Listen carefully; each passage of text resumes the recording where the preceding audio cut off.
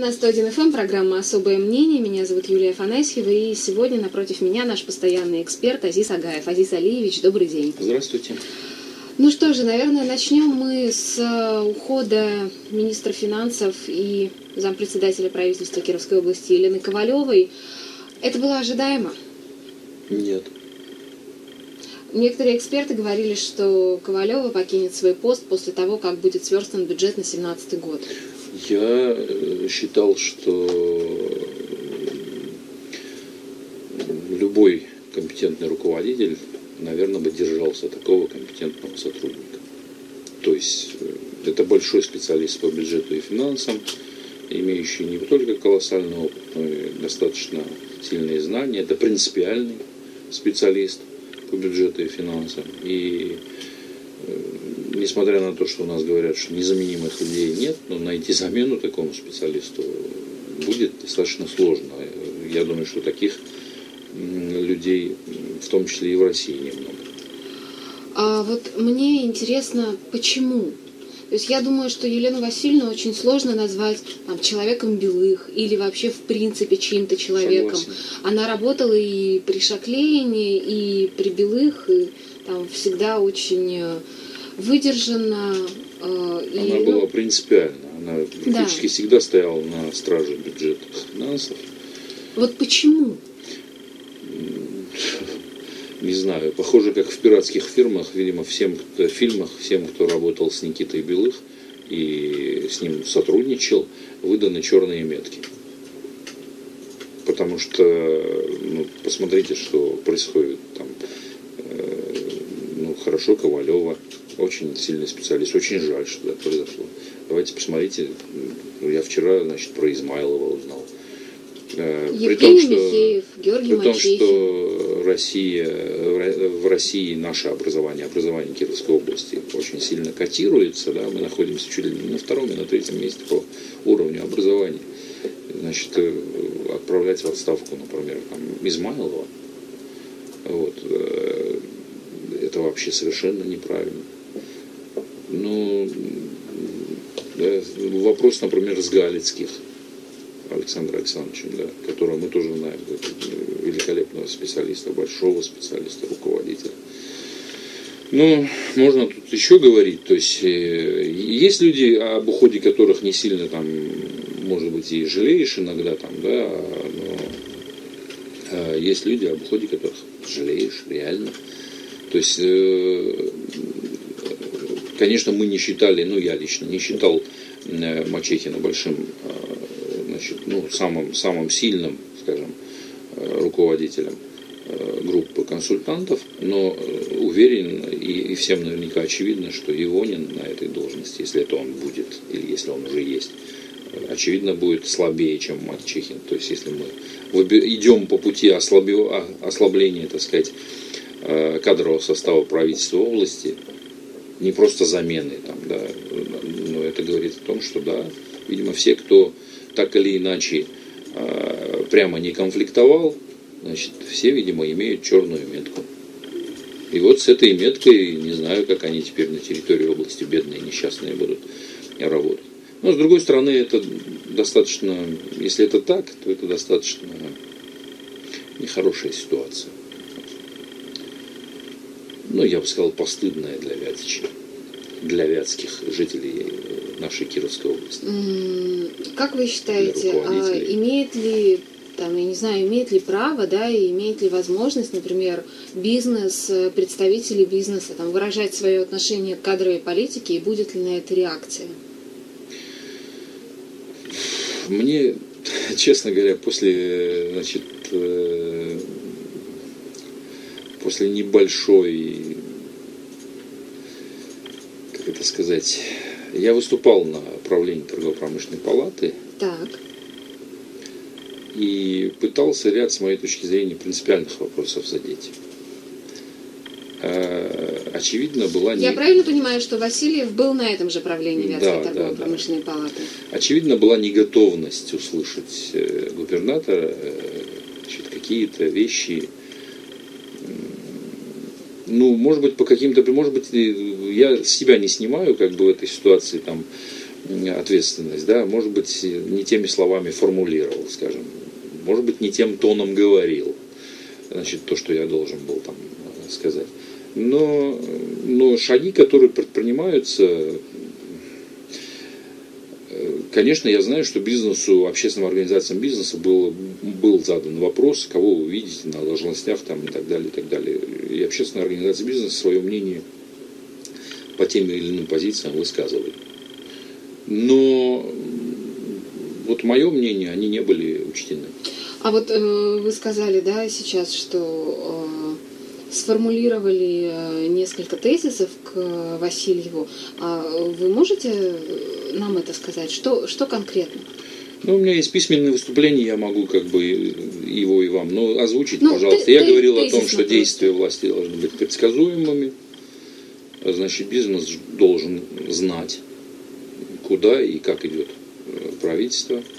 Что я сказал, что предпринимательство, оно будет так или иначе при любых условиях заниматься своим развитием.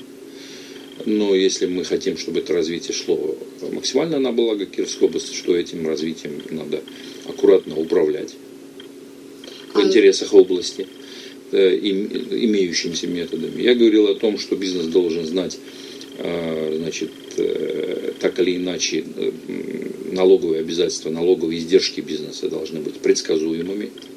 Я говорил о том, что, значит, что у нас не новая власть, а просто новые люди во власти. И если какие-то были обязательства и договоренности у э, правительства, не у личных, не лично у кого-то с кем-то, а именно как у правительства перед бизнесменами там, по строительству тех или иных объектов, по тем или иным проектам, то нужно проинвентаризировать их и обязательно дать бизнесу знать, что эти э, объекты и проекты, там, что касается там, школ, там, каких-то центров и так далее, будут выполняться и как они будут выполняться. Вот. И, конечно, мне не нравилось распределение, о чем я тоже сказал, э, распределение полномочий между заместителями. И тогда я сказал, что мы любим и уважаем Ковалеву как большого специалиста по бюджету и финансам, но я не представляю, чтобы Ковалева занималась экономическим развитием Кировской области. Ну, она этим не занималась никогда. Поэтому и одно из главных предложений, которое мне не совсем удалось тогда, так сказать, озвучить, оно было таким, что у нас должна быть площадка, которой до сих пор нет.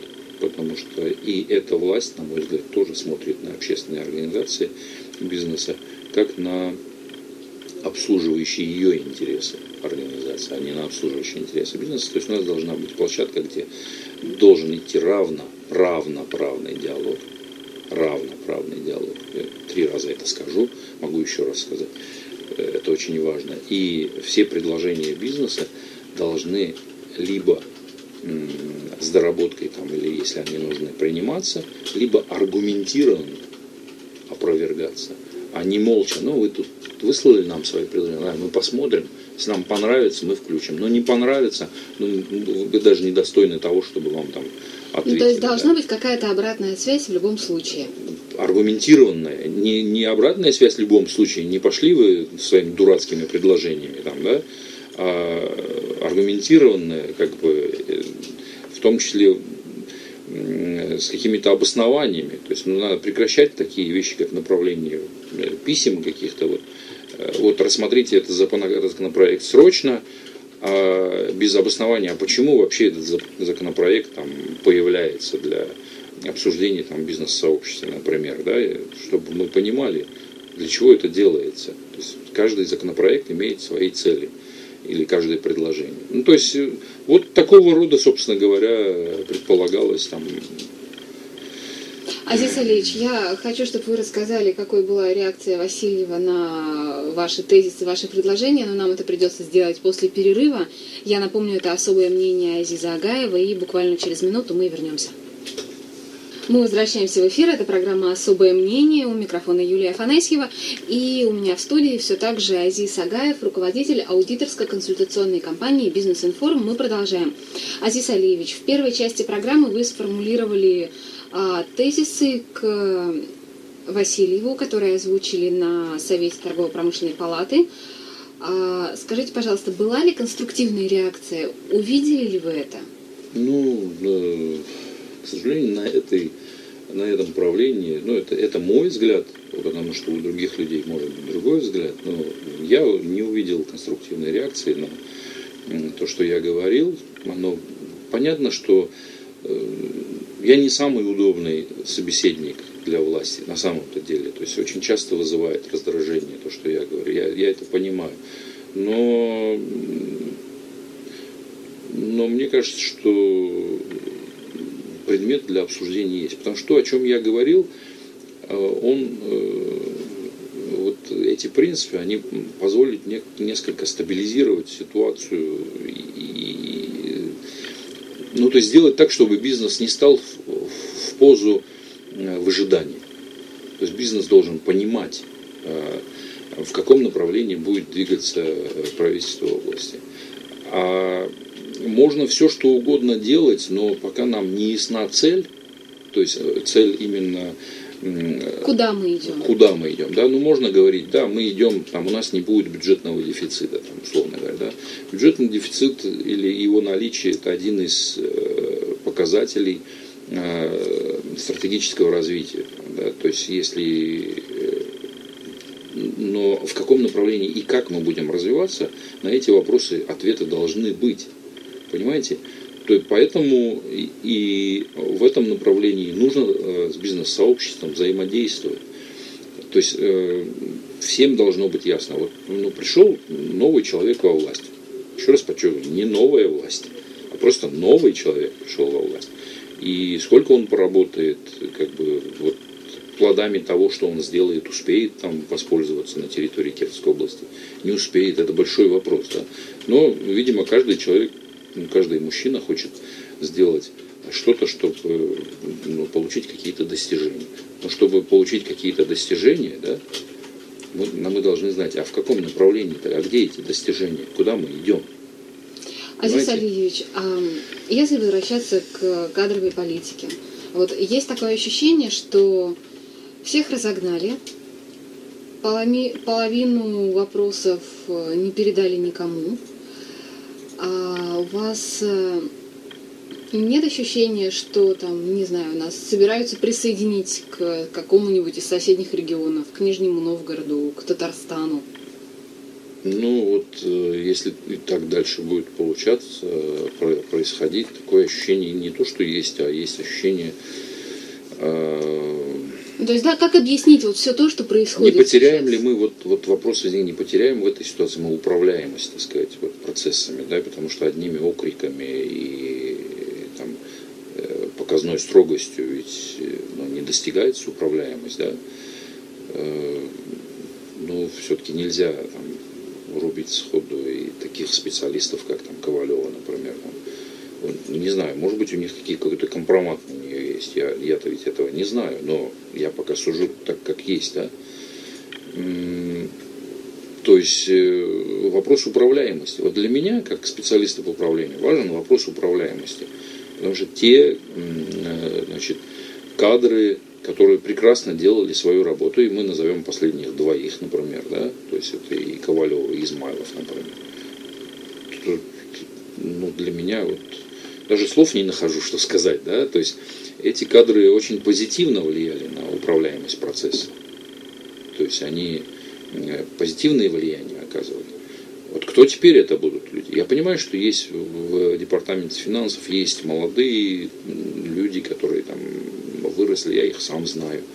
Вот, э, в образовании в меньшей мере там, э, но если управляемость будет потеряна, конечно, какой вариант останется? Присоединить куда-нибудь какому-нибудь богатому региону, чтобы вот не видеть эту вот депрессивный, там, а, депрессивную Кировскую область, да, э, центральной власти. Не знаю, это ли цель, ну, но это самая невероятная из всех целей, которые, так сказать, могут быть. Но в России ничего невероятного не бывает. Да, надо не забывать, где мы живем. Вот, Азиз Алиевич, э, в последнее время активно обсуждается тот факт, э, что наш регион не рассчитался по бюджетным кредитам за 2015 год. Именно поэтому мы пока не можем рассчитывать на новые займы. Здесь и Дмитрий Русских в этой студии э, многое об этом говорил. Вот как вы считаете, о чем говорит то, что мы не рассчитались? Как это скажется на состоянии региона и скажется ли вообще?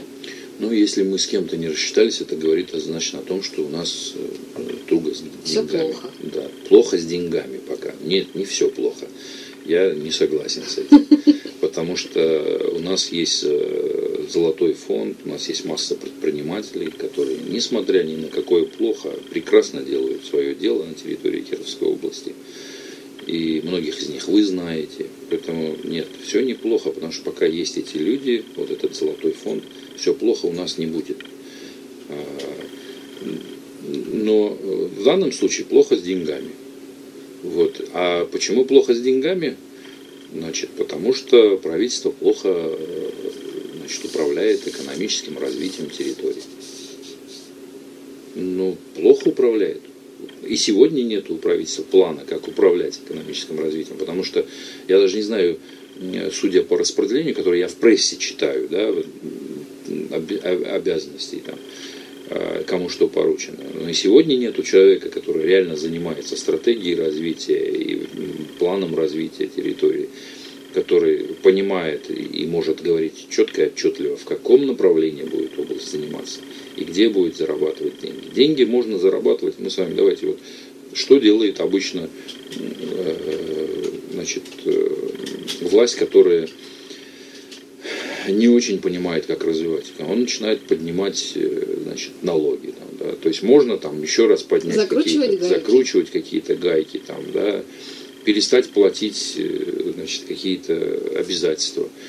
Но нужно заниматься развитием территории, нужно заниматься развитием, расширением налоговой базы, нужно создавать условия для тех, кто эти деньги зарабатывает. А деньги эти зарабатывает бизнес – Создателем национального богатства страны являются бизнесмены. Почему они являются золотым фондом? Понятно, что в этом золотом фонде есть там корявое золото, да, как бывает золото там, с медью, смешанное золото там, с, э, серебром, там, разноцветное и так далее, и так далее. Оно что оно не одного цвета. Но это люди, которые зарабатывают. Наша задача сделать так, чтобы на нашей территории эти люди чувствовали себя комфортно те, кто сегодня работают. И вот один из тезисов, который я пытался донести до э, правительства, заключалось в том, что нужно создать условия для собственного бизнеса на территории Кировской области. Когда собственный бизнес будет чувствовать себя хорошо, то к нам потянутся. Все будут говорить, посмотри, как здорово вести бизнес на территории Кировской области. А пока же сложно говорить о наличии таких условий. А, мне кажется, что пока крупный бизнес э, считает, что здорово вести его в других местах. В других местах, конечно, да, да. И вот э, вопрос-то не в том, что мы уговорим или не уговорим их вернуться, потому что такие попытки, вот я слышал, Да, вот я об этом хотела вас спросить Вопрос не тоже. в том, уговорим или не уговорим. Ведь уговор это как одноразовая А как это вопрос одноразовый не в этом? процесс. Один Уралхим это 2 миллиарда налогов. Ну вот э, вопрос в том, что Уралхим придет, а потом через некоторое время снова уйдет. Понимаете, Уралхим, ведь вопрос в том, что мы уговорить-то можем один раз, но должны сделать так, чтобы у них никогда больше не возникало желания уезжать с территории области. Но сегодня-то мы видим, что не только у предприятий, у массы молодых людей возникают желания уехать с территории Кировской области. Понимаете? Вот в чем задача-то. Не, не один раз уговорить. Конечно, ситуативно нужно уговаривать значит, людей вернуться э, вести бизнес на территории Кировской области ситуативно. Но стратегически-то нужно сделать так, чтобы у них не возникало никаких... Чтобы они не уезжали. Да, чтобы у них не возникало желания уезжать с территории области. Хорошо, вот скажите мне, пожалуйста, там взять э, этот же КССК, который зарегистрирован не в Кирове. Как вы считаете, получится ли у Васильева уговорить заставить, аргументировать, в общем, мотивировать их вернуть свой бизнес на территорию Кировской области?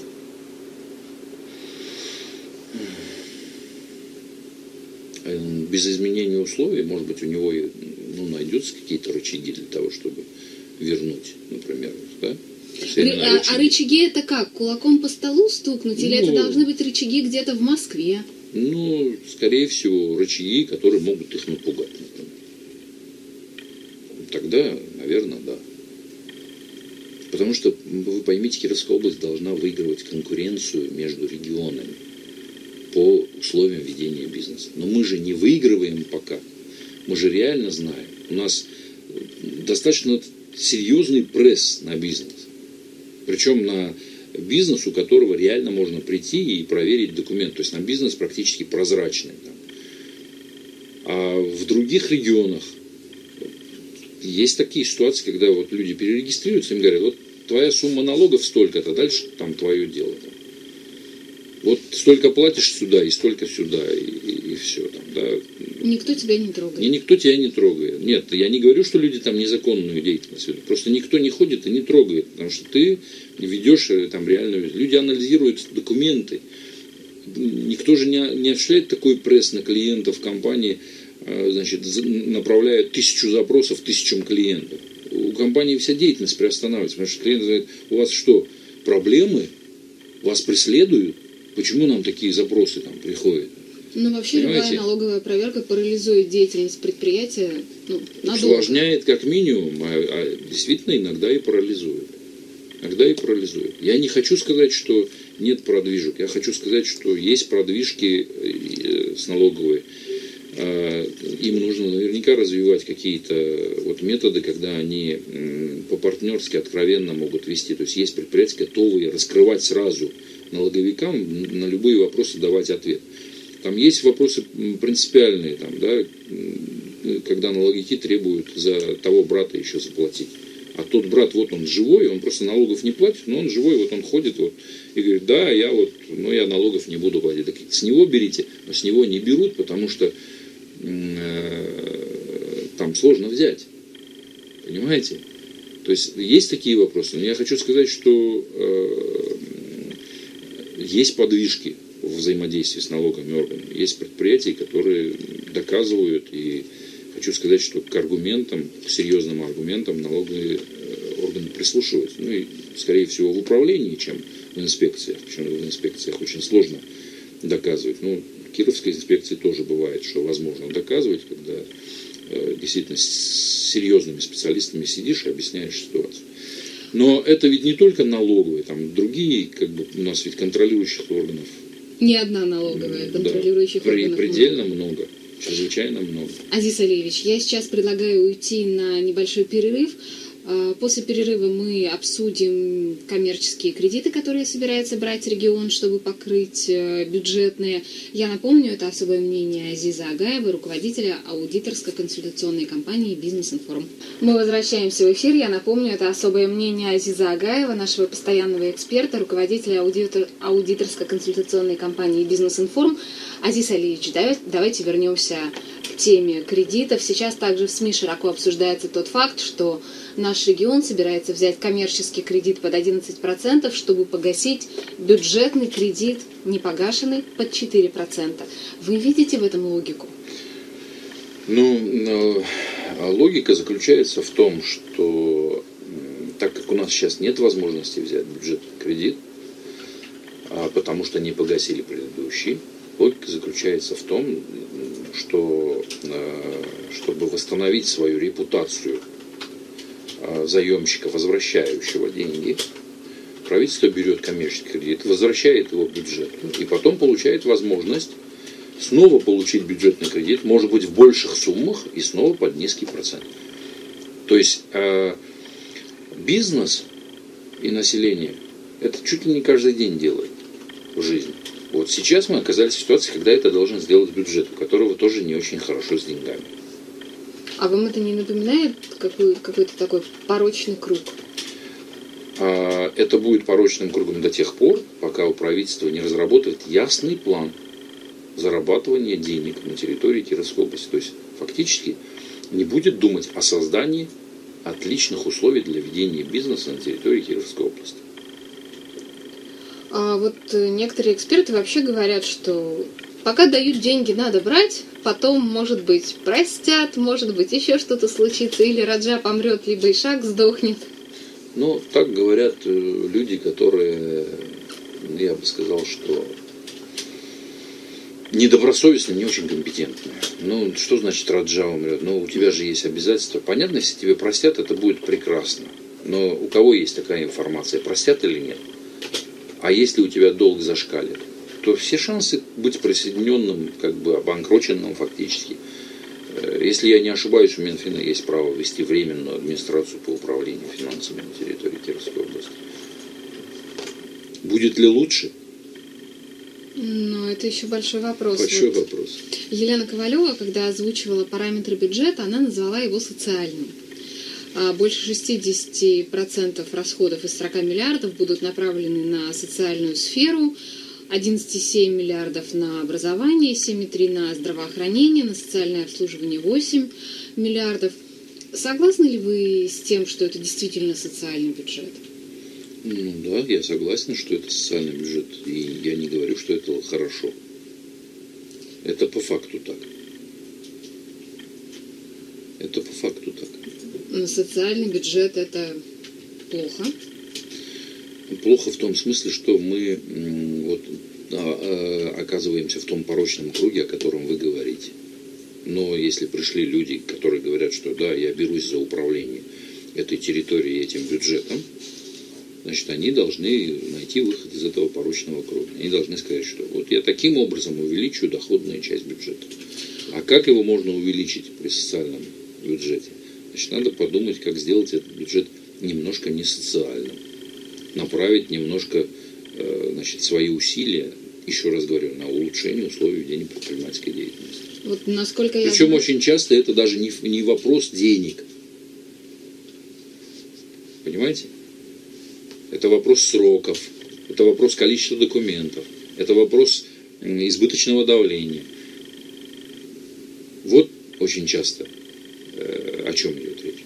Ну вот, э, насколько я знаю, сейчас э, очень многие департаменты, простите, министерства, никак не могу привыкнуть к этому слову, да. занимаются тем, что срезают расходы.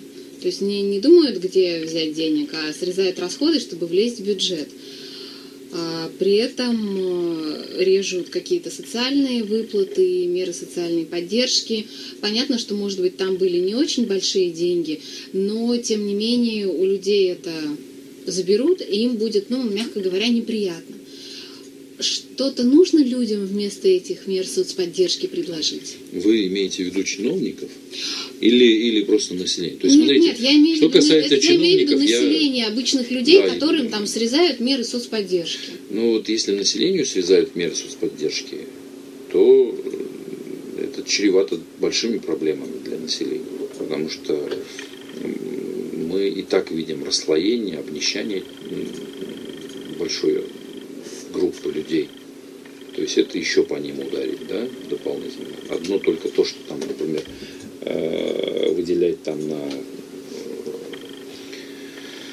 семьям э, на садик денежные средства, там, да, только при условии, если значит, там Установить, доход... установить да. критерии нуждаемости, нуждаемости предлагается, да, да э, выделять только тем семьям, где доход на человека в месяц менее полутора прожиточных минимумов. Да, Это да. 13 914 рублей. Да, то есть э, что такое 13 тысяч э, рублей?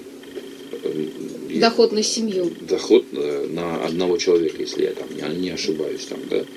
Да, на, доход на, на человека, человека, пардон. И представьте себе, что вот семья молодая, там, дети погодки, там, двое детей, там, да, там, ну, два, три, три, четыре, четыре, пять, как угодно, там. Мама, естественно, не работает, потому что, ну...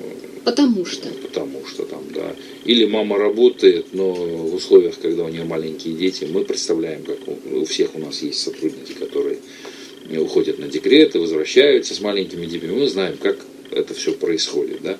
Работает папа. Значит, папа должен зарабатывать э, с учетом значит, подоходного налога, из-за которого значит, э, руководство области часто стучит башмаком по столу, да? а зарабатывает э, с учетом подоходного налога, например, 40 тысяч. Это ведь хорошая заработная плата, если человек получает такую заработную плату для Кировской области, согласитесь. Но да. учитывая, что средняя заработная плата у нас порядка 26, да. то 40 тысяч это, наверное, хорошее. Ну, вот вычти из этого подоходный налог. Получится там 35. Да? 35. А он уже критерий нуждаемости, так сказать, не отвечает. Да?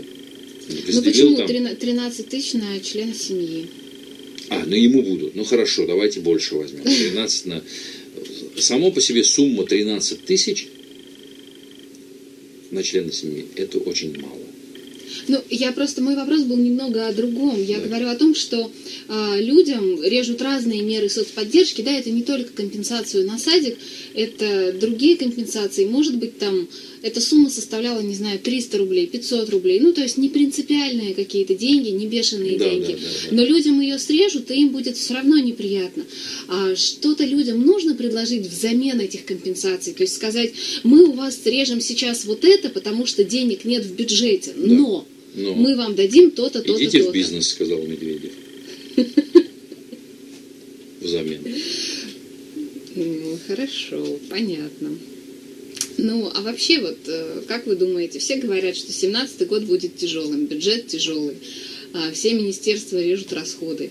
Что с нами будет в 2017 году? Я имею в виду с Кировской Будем областью. жить. Будем жить. То есть я ничего нагнетать не хочу. Я единственное, чего хочу, чтобы правительство имело внятную программу экономического развития Кировской области. И обсуждала ее с предпринимателями. И обсуждала ее с предпринимателями. Потому что только это является залогом процветания Кировской области. Только это. В противном случае мы будем всегда вести себя как бедные, э, нищие люди, ищущие в своих кошельках последние, там, собирающие последнюю мелочь, вот то, что сейчас происходит. Это сбор последней мелочи в кошельках. Вот то, о чем вы говорите, 100 рублей, там 300 рублей, там это сбор последней мелочи в кошельках. Это плохой симптом. То есть не этим должно правительство заниматься. Правительство должно заниматься развитием территории таким образом, чтобы бюджет поступало побольше доходов. Азиз Алиевич, а вот ваш э, коллега, предприниматель и депутат УЗС 4-5 созыва Дмитрий Русских, очень часто в наших эфирах говорил о том, что э, правительство региона вовремя не смогло понять, что впереди тяжелые годы, и там начало реализацию дорогостоящих социальных либо культурных проектов, таких как, например, космический центр, как детей для, пардон, лицей, лицей для одаренных детей в Проснице. А, что вроде как бы эти объекты, конечно, важные, но они нам не жизненно необходимы, и на них там мы бы могли сэкономить и не загнать себя в такую долговую яму. Вот вы с такой постановкой вопроса согласны? Нет, я не согласен с такой постановкой вопроса, при этом не отрицаю право, так сказать, Дмитрия говорить. Не согласны почему? Потому что эти вещи направлены на будущее.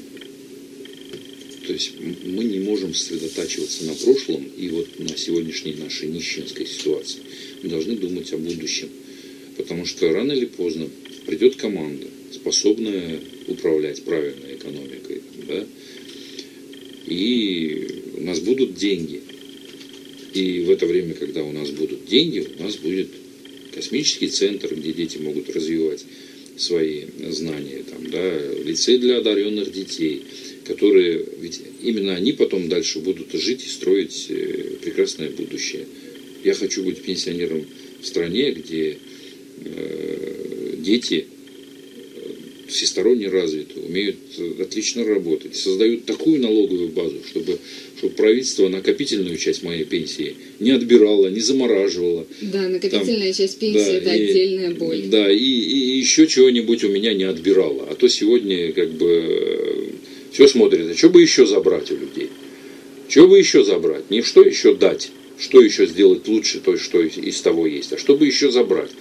То медицину сделать платной, ну, то еще что-то там, то подумать о том, что там кто-то озвучивает уже, что а надо ли платить пенсии, там, то есть масса таких вопросов.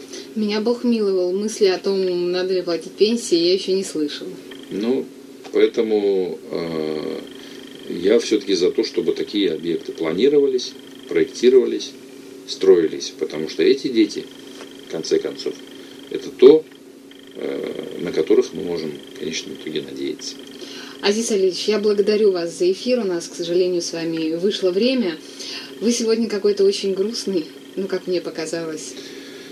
Ну да, когда видишь, что происходит и не очень до конца понимаешь, зачем это делается, и когда это не озвучивается, то возникает некая грусть и настороженность за свою малую родину, скажем так.